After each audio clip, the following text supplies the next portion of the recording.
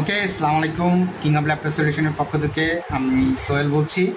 তো আমরা সবাই এই সানোয়া মিটারের একটা বড় কমন প্রবলেম আমরা ফেস করি, সেটা হচ্ছে যে শব্দটা, অর্থাৎ যে বিপ সাউন্ডটা সেই সাউন্ডটা আমাদের কম হয়ে থাকে। তো আমরা এই সাউন্ডের কারণে আমরা এই জাপানি, এটা জাপানি, তো এই মিটারটাকে আমরা অনেকে ডিজালার করি মানে ইউজ করতে চাই না। তো এখন আমরা সবাই যেন এই মেশিনটা ইউজ করি, সে কারণে আমরা কি করব সাউন্ডটা কীভাবে বাড়াতে হয় সেই পদ্ধতি আমরা দেখা দিব। এবং এই মিটারটা আমরা কম্পিউটারের সাথে কীভাবে অ্যাডজাস্ট হয়, আমরা আরেকটা ভিডিওতে ইনশাল্লাহ দেখা দিব। কম্পিউটার দিয়ে আমরা এই এই মেশিনটাকে কীভাবে অপারেট করতে হয়, কীভাবে কম্পিউটারের সাথে সংযোগ করতে হয় ইউএসবি কানেক্ট করতে হয়, সেটা আমরা দেখাই দিব। জাস্ট আজকে আমরা দেখাবো কীভাবে সাউন্ডটাকে বাড়াতে হয়। তাহলে ওকে শিক্ষার্থী বন্ধু, আমরা এখন এই মিটারের সাউন্ডটা আগে একটু শুনে আসি। আমরা বিপ সাউন্ডটা দিয়ে আসব। এখানে আমাদের বিপ সাউন্ড আছে। আমরা সাউন্ড চেঞ্জ করার জন্য এখানে সিলেক্ট আছে। আমরা সিলেক্টে যাব, এখানে আমাদের সিলেক্ট আছে ওকে আমরা নেগেটিভ এবং পজিটিভে দিলে সাউন্ডটা আমরা দেখে আসব। এখানে যে সাউন্ডটা আসে, সে সাউন্ডটা শিক্ষার্থী বন্ধুরা আপনারা দেখেন। শব্দ একদম খুবই কম, আমি মাইক্রোফোনটাকে সামনে নিলাম। শব্দ নাই বললেই চলে। এটাকে কানে নিয়ে আমাদেরকে কি করতে হয়? শব্দটাকে অ্যাডজাস্ট করতে হয়। কানে সামনে নিয়ে তারপর আমাকে শুনতে হয়। তো এত কম শব্দ যেটা বলার বাইরে। আমরা এরকম ঠিক আরেকটা আমরা দেখব আমরা যেটাকে সাউন্ড বাড়াইছি সেম এখানে আমরা আরেকটা দেখতেছি। এটাকে আমরা সাউন্ড বাড়িয়েছি, সেটা দেখাচ্ছি। আমরা অলরেডি সাউন্ডে দিব। এখানে দেখতে পাচ্ছেন? অলরেডি আমাদের সাউন্ডটা শুনতে পাচ্ছেন, এই বিপে সাউন্ডটা তাহলে আমরা এটাকে যেভাবে বাড়িয়েছি, ঠিক আজকে আমরা এমন একটা কাজ করব এই মিটারের কীভাবে বাড়াতে হয় সেটা আমরা দেখা দিব। ওকে শিক্ষার্থী বন্ধুরা, আমরা অফ করি। আমরা মিটারটাকে খুলবো এখান থেকে। এখান থেকে খুলে নিব। খুলে নেওয়ার পর আমরা এখানে স্ক্রু ড্রাইভার দিয়ে স্ক্রু খুলে নিব। ব্যাটারির অবস্থা তো খুব খারাপ। তোমার ব্যাটারিটা বের করো। ওকে আমরা এটার স্ক্রু খুলে নিলাম। আমাদের এখানে আর কিছু নেই। এখন আমরা এটা কি করব? খুলে নিব। ওকে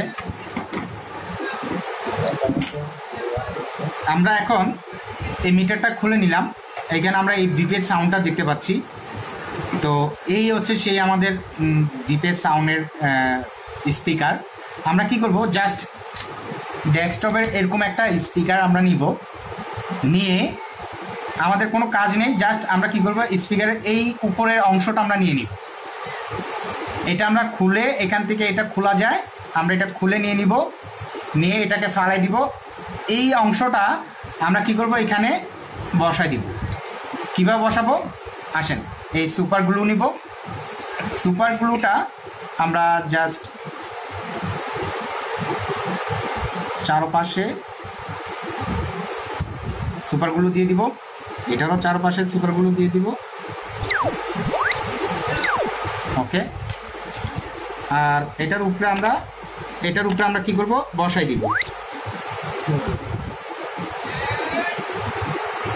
ওকে যখন আমরা এটা বসাই দিব, এখানে আমরা আরেকটু চুপ অ্যাডজাস্ট করে আমাকে বসাইতে হবে যেন কোনো গ্যাপ না থাকে, কোনো প্রবলেম না হয়। হ্যাঁ. ওকে বসাই দিলাম। আমরা একটু শুকালে আমরা চারপাশে আবার একটু করে দিয়ে দিব। দেওয়ার পর আমরা কি করব? সাউন্ডটাকে টেস্ট করব। এখানে এরকম ডাবল হলে কোনো সমস্যা নাই। আমাদের এটার এখানে সুন্দর এখন সাউন্ড হবে। কারণ কেন?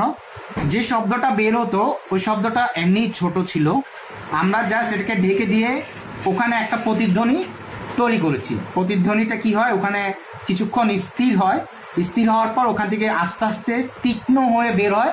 তখন শব্দটা অনেক জোরালো শোনা যায়। যেটা আমরা শীষ দেই না শীষটা আমরা মুখ দিয়ে যখন দিই তখন মুখের এটাকে আমরা কি করি? মুখটাকে ছোট করে তারপর আমরা ফু দিই বাতাস। তখন কি হয়? শীষের মতো একটা শব্দ। হয় তো ঠিক এখান থেকে যে শব্দটা তৈরি হয় সেটা বাতাসকে নিয়ে একটা ধাক্কা দিবে তখন আমাদের শব্দটা বেড়ে যাবে। তা আমাদের কঠিন কিছু না জাস্ট চারপাশে আমরা কি করব? আমরা আর একটু করে দিয়ে দিব সুপারগুলো যেন বাতাস যেহেতু বেরোতে না পারে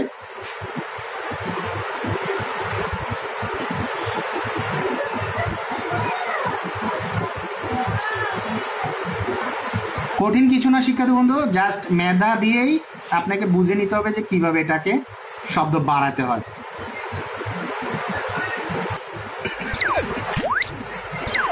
ওকে শিক্ষার্থী বন্ধু, আমাদের কাজ শেষ। এখন আমরা কোনো কিছু করব না জাস্ট এটাকে আমরা বসাই দিব। বসে গেল।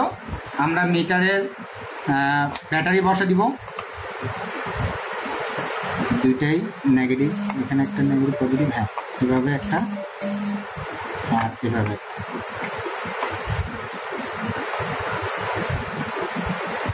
পজিটিভ কোথায়? নেগেটিভ এই জায়গায়। আর এটা নেগেটিভ কোথায়? এই জায়গায়। ওকে বসা দিলাম শিক্ষার্থী বন্ধুরা এখন আমরা দেখি এটা সাউন্ড বাড়ছে কিনা। আমরা সিলেক্ট করব। আমাদের শব্দ এখন অনেক বেড়ে গেছে। আগে এটা শব্দ শোনা যাচ্ছিল না, এখন আমরা অনেক শব্দ পাচ্ছি। তো শিক্ষার্থী বন্ধুরা, আমাদের আগে মাইক সামনে এনে সামনে এনে আমাদেরকে শুনতে হয়েছে এখন আমাদেরকে মাইক সামনে লাগবে না অটোমেটিক শোনা যাচ্ছে। তাহলে ওকে শিক্ষার্থী বন্ধুরা, আমরা কীভাবে এই মাইকটা বড় করতে হয় সেটা দেখলাম। আমরা এখন স্পিকার মেরে দিয়ে এই, এটার ঢাকনাটা আমরা লাগিয়ে দিব।